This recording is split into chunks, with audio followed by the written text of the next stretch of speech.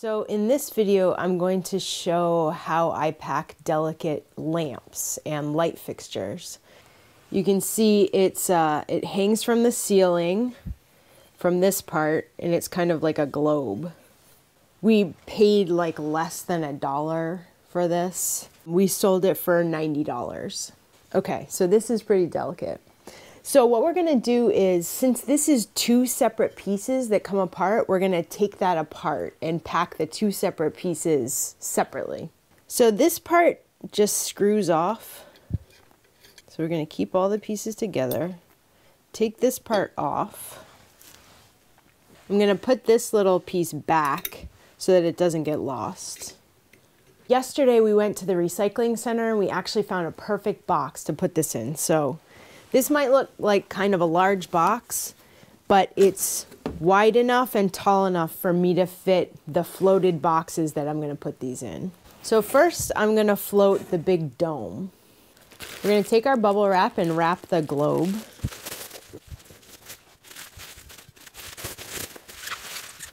So we'll double wrap it. So we'll do that twice.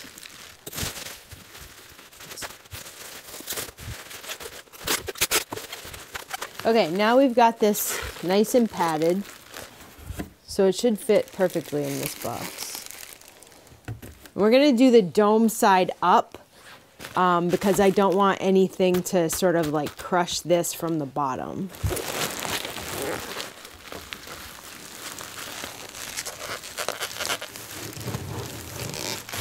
So that fits in there. It doesn't move when I shake it. Okay, for the second piece, which is the ceiling mount, we're going to do the same thing. So bubble wrap and a box. So I'm using the priority boxes as shells, but I'm also shipping this priority. So overall, I'm just going to pay for priority mail. All these boxes come from the USPS website. So they're free. I use them like crazy. So this box is a little bit small for this, but I'm just gonna sort of fold this over and do like this on top. It's okay if this doesn't shut all the way because I'm just trying to make a shell that I'm gonna pad out further. This not closing is okay for this. So we have the two boxes. These are the two pieces of the lamp right here. And now we're gonna fit it in this much bigger box. So the good thing about this box is it's uh, about an inch or so around bigger than this one, and that's what we want. We want to be able to float these inside here so that none of these corners and edges are touching the sides. Okay, so the first step, as we've said before, is you really want to pad out the bottom.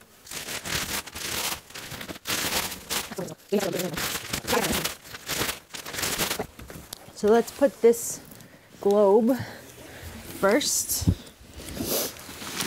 Perfect. So now what we're gonna do is we're going to pad out all the edges so that this just is completely floating.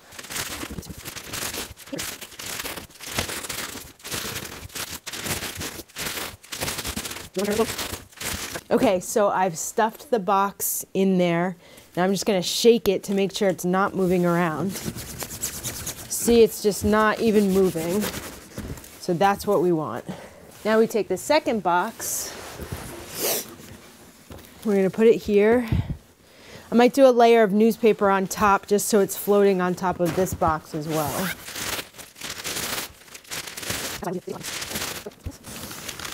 Okay, that's to float on top of the other box and we're just to stuff this again.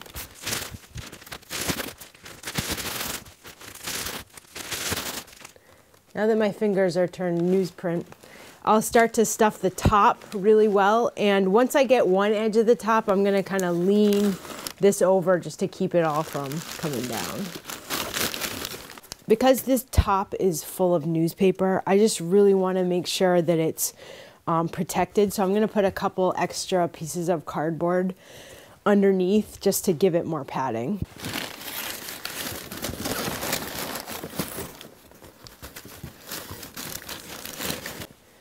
So now we're going to take our little tape gun and we're going to tape it up.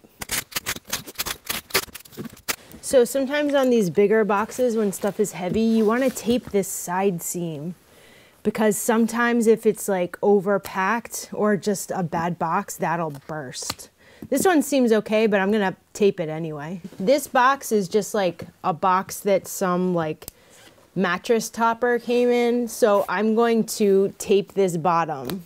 It looks sturdy, but I'm gonna tape it just in case. The post office generally doesn't care about boxes like this. Like it's got all these like product stuff on it.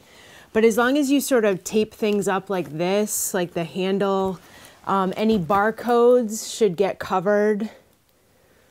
And any old postage, like someone sent this box here originally, so that should get covered with your label. Okay, let's weigh it. Doesn't seem very heavy. 10 pounds maybe. 10.4. All right. So that lamp, which did not look very big, is in this big box. But it's necessary because you really need to pad it out so it doesn't break. This is going from the East Coast to Los Angeles. So you just really want to make sure that it's just like a big marshmallow, basically.